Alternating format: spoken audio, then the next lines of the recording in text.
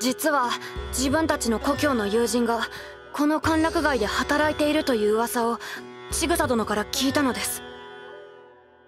今宵よとぎをさせていただきます。春姫と申します。あのリトルルーキーを食えるなんて結構な話だね。ちょ。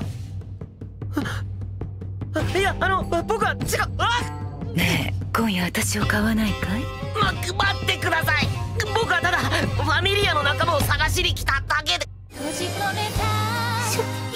召喚は初めてでいらっしゃいますか？はい。私はこの歓楽街イシュタルファミリアへと売り渡されたのです。今夜はこれから客が来る。青い男に構ってる暇はない。もしかして春姫さんも英雄譚が？英雄にとって娼婦は破滅の象徴です。憧れを抱くことは許されません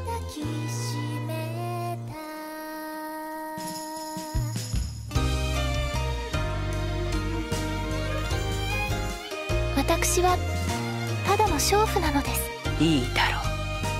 あのガキを奪ってやる。なろう。あの人の英雄に。